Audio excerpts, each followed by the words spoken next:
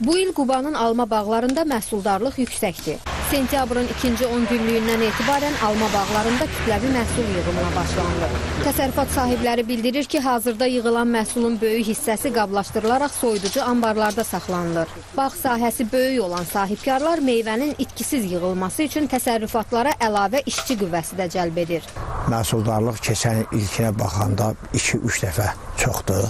Yəni hal-hazırda məhsulun ə, əsas hissəsini daha iri məhsulu yığıb ə, soyuducu anbarlara ə, yerləşdiririk və və ikinci gördüyünüz kimi ağaclarda ikinci məhsul bir-bir həftə 10 gündən sonra yenə təkrar yığım aparacağıq. Ötən illə müqayisədə məhsuldarlıq bol olsa da keyfiyyətli məhsul azlıq təşkil edir. Buna səbəb bağlarda qara ləkə xəstəliyinin kütləvi yayılmasıdır. Xəstəlik meyvənin xarici görünüşünə təsir etməklə yanaşı qiymətini də aşağı salır. Qara ləkə xəstəliyi e, çox olduğu üçün e, məhsulların keyfiyyəti aşağı düşmüşdür.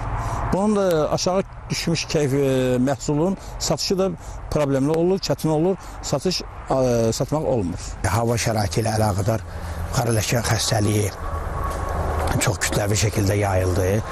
Ə, Biz onunla kütləvi mübarizə aparmamıza baxmayaraq yenə də öz təsirini məhsuldarlığa ə, öz təsirini göstərib. Mütəxəssislər isə hesab edir ki, qara ləkə xəstəliyinin kütləvi yayılması vaxtında aparılmayan aqrotexniki qulluğun nəticəsidir. Həmin qara ləkə xəstəliyi dəmgil xəstəliyi adlanır. O da hava şəraitində nəmişlik keçəndə hava hava çox nəmişlik olanda şey yaranma səbəbi ona görə yaranır. Ona görə də fermer və sahibkarlarımız xəstəliyin yaranma səbəbini vaxtında aşkar eləyə bilmədiklərinə görə e, kimyəvi dərmanlardan vaxtında istifadə etmədiyinə görə əmələ gəlir.